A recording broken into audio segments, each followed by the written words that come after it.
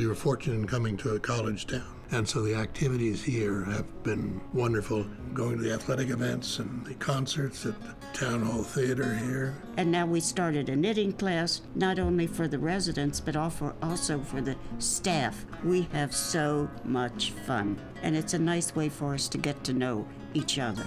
And there's no reason to be bored because there's so much going on. The Lodge at Otter Creek in Middlebury, Vermont. The next generation in adult living.